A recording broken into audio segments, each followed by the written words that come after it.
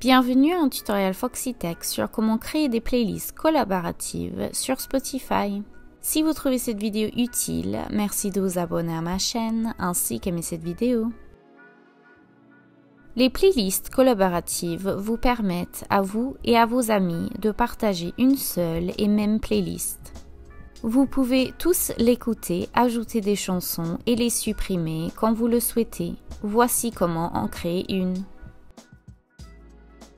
Vous pouvez transformer n'importe quelle playlist existante en playlist collaborative, mais je vais en créer une nouvelle pour ce tutoriel. Ouvrez votre bibliothèque, puis cliquez sur le plus.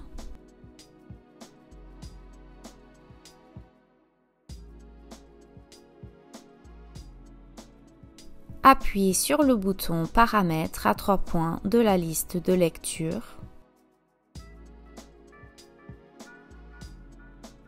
Sélectionnez maintenant Inviter des collaborateurs.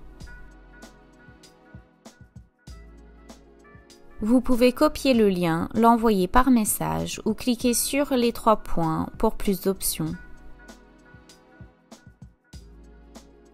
Vous pouvez maintenant commencer à ajouter vos propres chansons et inviter vos amis à ajouter les leurs.